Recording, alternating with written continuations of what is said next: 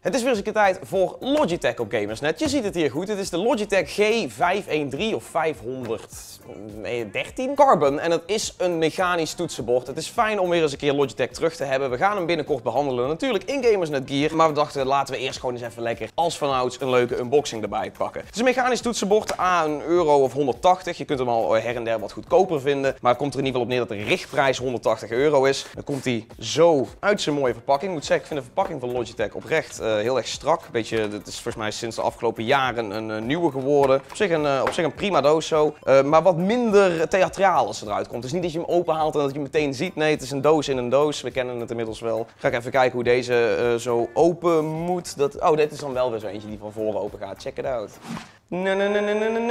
Het is een nieuw toetsenbord van Logitech en het is dus met 180 euro niet je goedkoopste. Verwacht geen budget stuff. Het is een mechanische met eigen nieuwe switches. Jazeker. Logitech heeft tegenwoordig naast gewoon wat cherry switches ook de eigen soort van Romer G noemen ze het. Uh, het wordt volgens mij gemaakt in samenwerking met Omron, maar ze noemen het natuurlijk Logitech's eigen mechanische switch. We gaan ook meteen ontdekken of dat een beetje een mooie, fatsoenlijke switch is. Hoe die klikt, hoe die voelt, dat lees je natuurlijk allemaal achteraf op gamersnet.nl en natuurlijk Gamersnet Gear.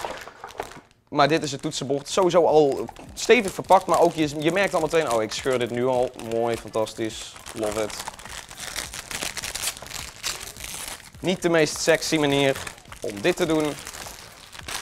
Maar het werkt wel. Hoe dan ook, toetsenbordje komt zo los erbij. En natuurlijk tegen deze prijs had je het ook wel een beetje kunnen verwachten. Er zit ook een polssteuntje bij. Tegenwoordig hoort dat er echt wel bij. Je ziet alle toetsenbordfabrikanten inmiddels rond die prijs een uh, fatsoenlijke polssteun erbij geven. Zij het los of zij het inbegrepen. Maar ik moet al zeggen, dit ziet er al aardig stevig uit. En je hebt ook zelfs nog een klein beetje de mogelijkheid om wat kabelmanagement hierin te doen. En dat is ook belangrijk, want hij heeft natuurlijk weer een pass-through. Dan is de vraag, wat is de achterkant, wat is de voorkant? Ik denk dat het niet zo heel veel uitmaakt. Ik denk dat je hem allebei de kanten op kan, uh, kan gooien. Maar zodoende, zo ziet het er al aardig strak uit. Gaan we ook even kijken of hij wat leuke pootjes heeft. Jazeker, deze gaan zijwaarts open. Niet in verschillende standen, maar in ieder geval wel dat je wat uh, ja, kickback hebt. In ieder geval een stand. En je ziet hier ook al mooi, er is de mogelijkheid om een USB'tje door te snoeren. Hou nog even wel dit mooie logootje even open, want dit hebben ze dan mooi afgeplakt. Het Logitech G-logo natuurlijk van hun gaminglijn. Die is, als het goed is, ook verlicht, maar dat gaan we dan zo wel ontdekken. Want ik ben even een laptop erbij pakken, zodat we daadwerkelijk dit ding ook in volle RGB-verlichting kunnen zien.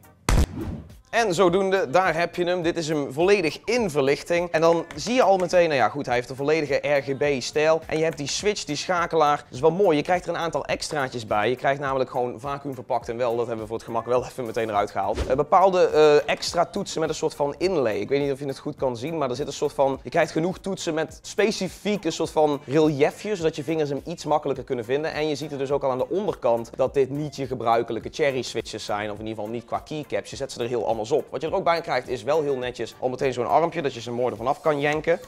En zodoende dan pak je hem. En dan zie je al, dit zijn hele aparte switches met een soort van doosje eromheen. Dat zien we de laatste tijd wel vaker. Dat zorgt er wel voor dat de switches zeg maar een iets steviger gevoel hebben. Dat ze iets specifieker zitten. Het maakt het blijkbaar ook lastiger om de keycap erop te friemelen. Of het is gewoon omdat ik een 2 op de escape probeer te krijgen dat dat niet werkt. Oké, dat, dat is wel even, dat is wennen. Dat is iets anders dan met de gebruikelijke cherry keycaps. Of die van een Keel of een andere schakelaarfabrikant. Maar dit is in ieder geval de Logitech G513, denk ik dat we hem gewoon maar noemen. Carbon model. En natuurlijk dat carbon, dat zie je ook al een beetje. Dat zit hem in die aluminium behuizing die ze zelf Arcraft Customized Aircraft Grade noemen. Uh, dus als het goed is, zit dit, past dit ook gewoon in een vliegtuig. Of dat allemaal zo fijn is, of dat een relaxed toetsenbord is en of het je geld waard is, dat zie je uiteraard in Gamersnet Gear. Die komt er zeer spoedig aan. Maar mocht je vragen hebben of iets anders willen weten over dit specifieke toetsenbord, laat het weten in de comments. Daar zijn we voor. Dan gaan we die beantwoorden met een comment of gewoon straks in de volledige aflevering van Gamersnet Gear. Dat was het voor deze unboxing. Hoop dat je genoten hebt. Laat het even weten hieronder. En tot snel bij een nieuwe video van Gamersnet.nl.